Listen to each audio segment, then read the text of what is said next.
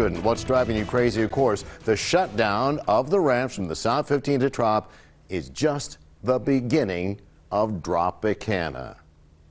After Saturday night's Golden Knights game at T-Mobile, Tropicana gets real with an eight-day complete closure of both directions of Tropicana from Dean Martin to New York, New York. So, what do you do with Trop closed? Well, the easy answer would be Flamingo, Russell for east-west travel?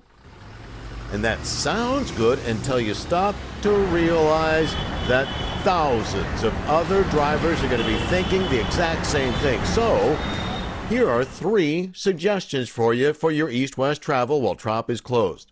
Desert Inn, Harmon, or Hacienda.